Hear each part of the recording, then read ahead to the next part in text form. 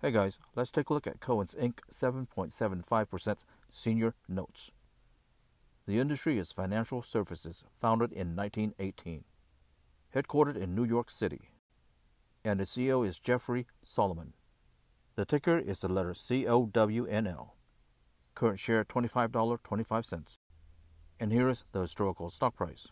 Enjoy learning about stocks just like me? Hit the follow button, and we can all learn together.